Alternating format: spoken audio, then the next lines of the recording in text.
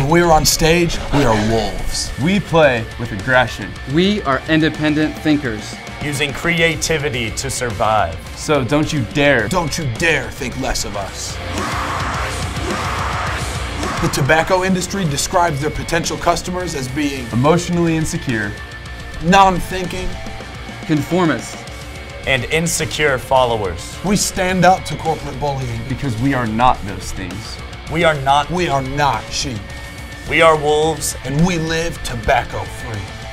I'm Garrett from Silent Planet. This is Jared Easterling with Fit for a King. I'm Ryan Kirby with Fit for a King. I'm Mattie from For Today, and I support a tobacco free scene with Uprise.